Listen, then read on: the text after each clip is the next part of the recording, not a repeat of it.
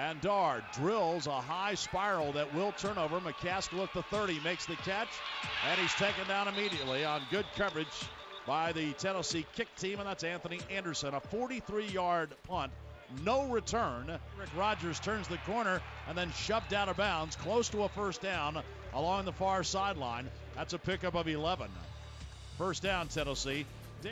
So big time reception, 23 yards that time on the pass from Tyler Bray to Da'Rick Rogers in Tennessee out of the hole up to the 34 yard line. Well, that's Marlin Lane across midfield, makes a cutback, and now a stutter step, still on his feet down to the Kentucky 38 yard line. Quick hitter up the middle to Marlin Lane, and Tennessee picks up 20 yard line, uh, 20 yards. It'll be a first down, Tennessee. A.J. Johnson came flying across the line of scrimmage, knocked him off balance, and then Marsalis Teague and Mo Couch came across to uh, put him down in a good defensive play that time.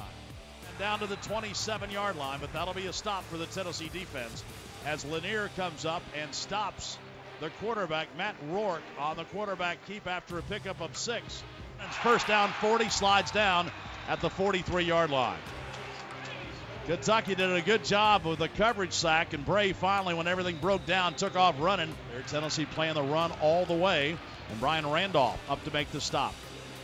Marsalis Teague did a pretty good job turning it back in from his cornerback slot right to Brian Randolph. Steps up, winds up, fires long down the field. A man out there. It's caught down at the 10 yard line. Rajion Neal.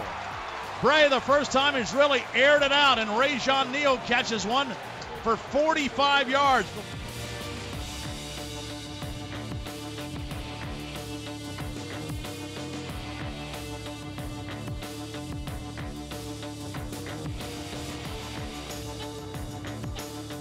Gets down to the five and is going to be taken down right there. Good coverage by Tennessee. Brian Randolph not fooled by that pump fake. He came out on the bootleg near side and a pickup of two. Fires long down the field. The pass is going to be caught. Touchdown. Tennessee a long bomb. Touchdown to Rajion Neal. Bray with the win at his back launched it 53 yards for the score, and Tennessee right back into the game.